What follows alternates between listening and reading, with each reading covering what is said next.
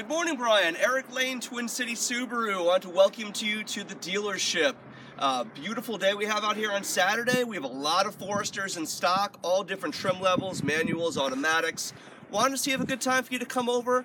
Uh, give me a call at 802-224-7201. I realize you're coming from Plattsburgh, but we'd love to help you out. We certainly take great care of our customers, and we're number one in customer service according to Dealer Rater. Uh, again, the number is 802-224-7201. Hope you have a great day.